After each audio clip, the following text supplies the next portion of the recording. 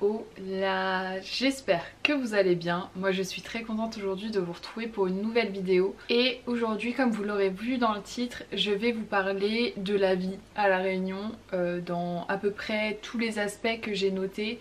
Je vais vous parler qualité de vie, je vais vous parler budget. Je tiens tout de même à préciser dès le début de cette vidéo que ici je vais parler de mon expérience à moi et que toutes les personnes n'auront pas forcément le même ressenti, toutes les personnes ne vont pas vivre non plus les mêmes choses. Moi je vais parler de moi, ce que j'ai vécu, etc et de comment je l'ai perçu. Pour ceux qui débarquent, j'ai été plusieurs fois à La Réunion. En tout, j'y ai passé plus d'un an. Euh, mais très récemment j'y ai passé environ 9 mois, j'y avais déménagé et je suis revenue en métropole plus tôt que prévu. Donc je voulais un petit peu vous faire mon retour d'expérience vous donner aussi des conseils si vous bah, vous souhaitez déménager à la Réunion par exemple.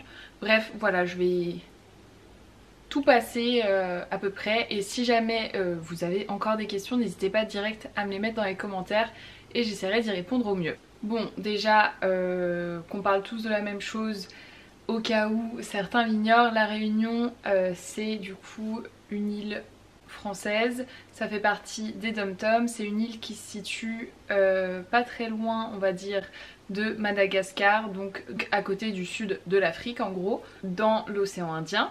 Moi pour vous dire j'ai vécu à Saint-Pierre qui est dans le sud-ouest de l'île, euh, à savoir qu'il y a dans l'île quand même des changements de climat qui sont assez importants selon là où vous vivez des changements de climat, donc euh, des changements météo, mais aussi, mais aussi des changements de population euh, qui sont énormes. Il y a euh, des coins de l'île de la Réunion où il y a quasiment, ou en tout cas c'est très prisé des métropolitains et du coup il y a énormément de métropolitains qui y habitent et d'autres où il y a beaucoup plus de réunionnais.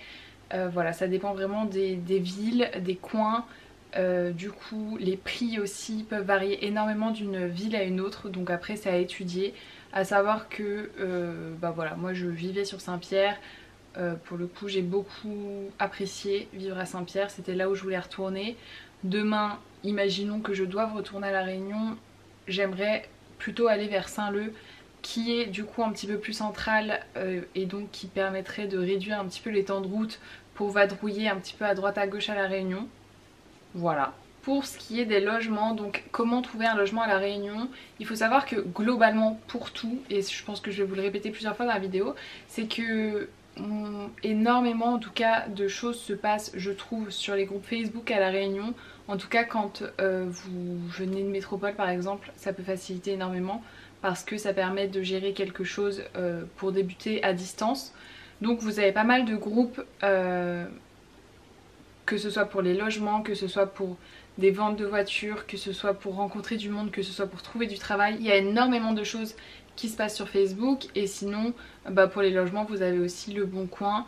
Euh, en tout cas si vous, si vous voulez passer en particulier. Il faut savoir que quand même la réalité à la Réunion c'est que la situation au niveau des logements c'est assez tendu c'est compliqué de trouver un logement, euh, ça dépend évidemment des coins, mais pour les coins qui sont relativement prisés, c'est compliqué. Euh, il y a du monde clairement sur le dossier, il y a énormément de demandes, pas assez de logements. Aussi je pense que euh, si vous pouvez vraiment essayer de visiter ou d'envoyer des gens visiter votre logement pour vous parce que parfois il y, a y a vraiment des choses qui sont, qui sont louées à des prix exorbitants alors que Franchement, euh, ça ne vaut pas du tout. J'ai eu plusieurs amis qui ont eu des mauvaises expériences avec des locations. Euh, voilà, visitez dans la mesure du, possible, vraiment visitez vos biens. Et euh, ne traînez pas si quelque chose vous intéresse parce que sinon ça va très vite vous passer sous le nez puisque une nouvelle fois c'est assez tendu. Évidemment, comme il y a une tension bah, au niveau de trouver des logements, ça fait monter les prix, hein, on va pas se le cacher. Donc c'est clairement pas donné de se loger à la Réunion. Après, moi qui viens de région parisienne, on va dire que ça me choque moins, mais euh, voilà, c'est pas donné de se loger à la Réunion. Aussi à savoir selon comment vous partez, mais sachez qu'il y a énormément, énormément de colocs à la Réunion. Donc euh, ça peut être pas mal, que ce soit passager ou non. La coloc euh, c'est moins cher même s'il y a vraiment des prix abusés en coloc maintenant à La Réunion. Ça vous permet de rencontrer du monde. vous changez aussi peut-être plus facilement de logement. Donc voilà, sachez qu'il y a énormément, énormément de colocs à La Réunion. C'est totalement faisable et c'est généralement le moyen qui est privilégié pour plein de gens pour se loger. pour vous dire un petit peu, moi j'ai été extrêmement chanceuse je pense pour mon logement.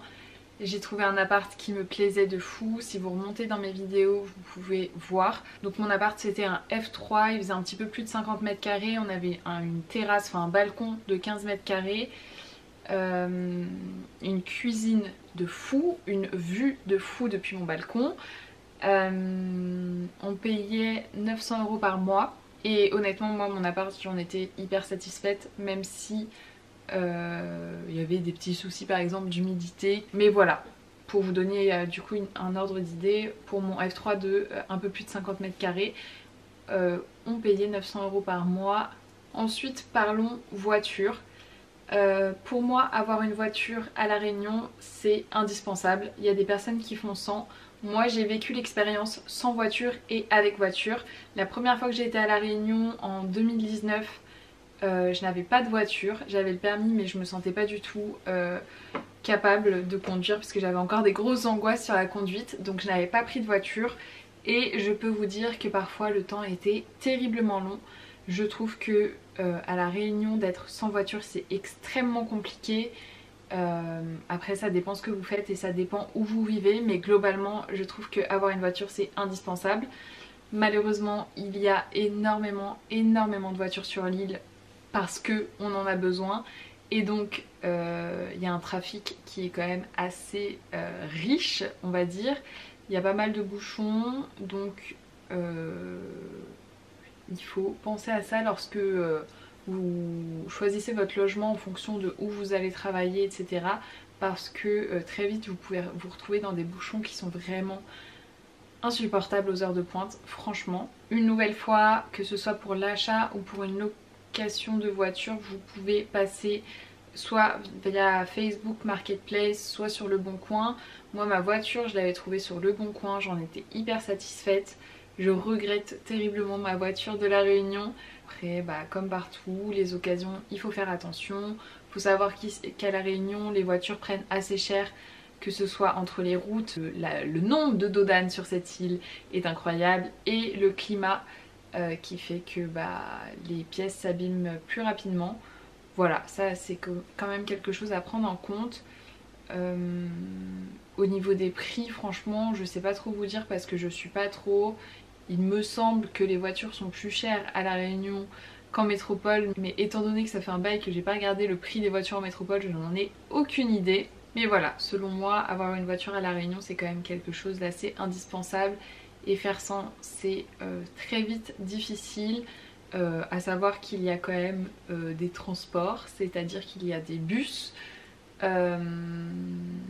honnêtement, moi j'ai pas beaucoup expérimenté les bus, donc je pourrais pas vous en dire tant que ça. J'ai essayé une ou deux fois et le bus n'est jamais passé, donc j'ai très vite abandonné mais euh, j'ai par exemple une copine qui était venue en vacances chez moi qui avait pas de voiture, qui a utilisé le bus et pour qui ça fonctionnait assez bien donc écoutez je ne sais pas mais après il y a de toute façon des coins euh, que vous, ne pourrez clairement pas explorer sans voiture. Parlons maintenant travail, euh, là aussi il y a une situation qui est assez tendue à la Réunion. le taux de chômage à la Réunion est bien supérieur qu'en métropole parce que bah, une nouvelle fois il y a beaucoup de il y a beaucoup de monde quand même sur cette île et euh, personnellement je n'ai pas trouvé mon compte, je n'ai pas trouvé de poste qui me plaisait euh, et ça a clairement joué sur mon retour en métropole. Donc euh, je pense que bah, comme tout, ça dépend évidemment des secteurs où vous êtes, mais euh, sachez que quand même la situation est assez tendue à la Réunion au niveau travail. Donc renseignez-vous avant de partir. Euh, voilà.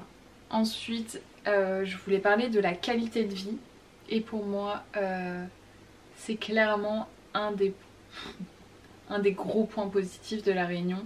Il y a globalement une qualité de vie qui est incroyable. Après, euh, bah, moi j'avais la chance d'avoir une nouvelle fois un appartement confortable, euh, une voiture, de pouvoir bouger, etc. Mais globalement la vie est douce à la Réunion, euh, les gens sont gentils, les gens sont ouverts, les gens discutent, la météo est globalement plutôt agréable. Bien que, attention, méfiez-vous, hein, elle n'est pas toujours, toujours au top. Hein. L'environnement, le fait que vous ayez la mer, la montagne, vous pouvez très vite être dans la nature. Enfin, c'est hyper agréable. Moi quand j'allais bosser le matin, je prenais des routes, euh, j'avais une vue de fou sur la montagne. Enfin, à chaque fois que je prenais la voiture, je me disais mais quelle chance j'ai euh, de vivre dans avec ces paysages quoi autour. Vraiment, euh, voilà, vraiment la qualité de vie pour moi est incroyable et perso je ne m'en lassais pas du tout. Parlons maintenant relations sociales. Et euh, là c'est aussi un point qui a pêché euh, sur mon séjour perso à la Réunion. Globalement, si vous souhaitez rencontrer du monde à la Réunion, je dirais que c'est assez simple parce que il y a quand même pas mal de gens qui arrivent, qui arrivent tout seuls, qui cherchent à rencontrer du monde, etc. La Réunion c'est une île qui brasse beaucoup de gens, il y a beaucoup d'arrivées, il y a beaucoup de départs, voilà, il y a beaucoup de changements, beaucoup de nouveautés. Ce qui fait que effectivement vous pouvez assez facilement rencontrer du monde, les gens sont très ouverts aussi. Mais après, du coup, le fait que beaucoup de personnes soient là euh, pour euh, des, disons, des, durées temporaires, quoi, euh, ça fait que vous créez pas des vraies relations durables, quoi. Ça peut être difficile de trouver des relations stables.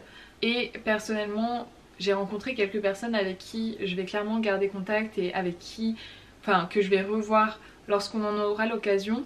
Mais après, de toute façon, je pense que faire aussi faire des rencontres à mon âge, euh, ça se complique en fait. Vous trouvez pas. Quand vous arrivez dans un nouvel endroit, c'est difficile de trouver des personnes avec qui vous avez des vrais points communs, etc. Enfin, c'est difficile de rencontrer du monde avec qui on match vraiment. Euh, personnellement, j'ai trouvé quelques personnes sur la fin de mon séjour, mais au début, j'ai eu vraiment beaucoup de mal. J'avais pas forcément envie non plus de faire l'effort de rencontrer des gens qui m'intéressaient pas plus que ça.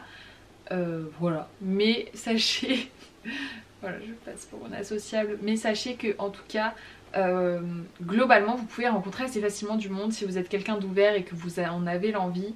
Moi-même, sur mon premier séjour à La Réunion, j'avais envie de rencontrer du monde.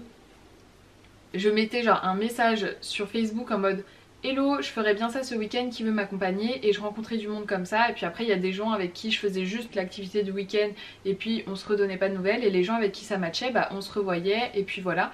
Mais euh, globalement, c'est assez facile de rencontrer du monde. Après, euh, voilà, c'est différent de rencontrer du monde, passer des petits moments et de trouver des vraies relations euh, sociales, amicales, stables. Parlons maintenant coût de la vie. On a parlé un petit peu des prix des logements. Je vous ai dit que euh, c'était quand même assez élevé.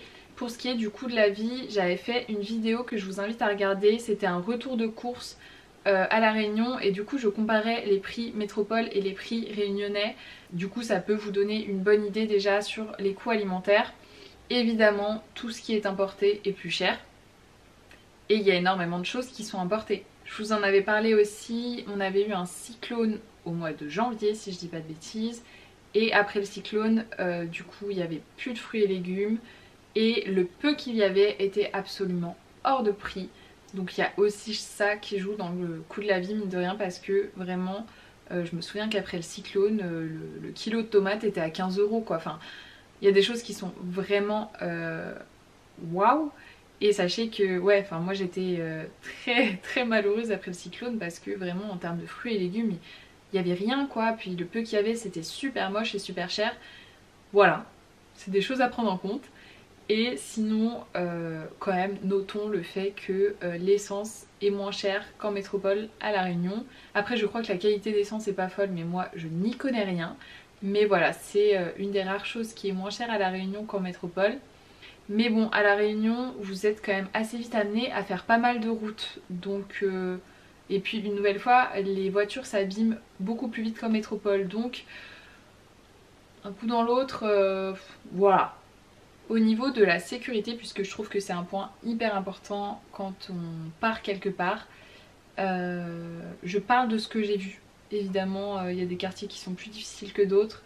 Et je rappelle aussi que euh, mon, comparatif de base est la banlieue parisienne. Euh, globalement, je trouve que à La Réunion, on se sent en sécurité. Après, je sais pas si c'est le quartier où j'habitais ou pas, mais mine de rien, ou, si c'est euh, l'écart de 4-5 ans par rapport à mon premier passage à La Réunion, mais je trouve qu'il y a une dégradation. J'entendais plus de faits divers, disons. Voilà, je crois que j'ai à peu près abordé tous les gros points que je voulais aborder pour vous faire petite, un petit récap en gros. Pour moi, je trouve que c'est évidemment un endroit qui est magnifique sur Terre. Il y a plein de choses à faire c'est des paysages merveilleux. Si vous avez l'occasion, vraiment, euh, je vous invite à, voyager là-bas et à découvrir.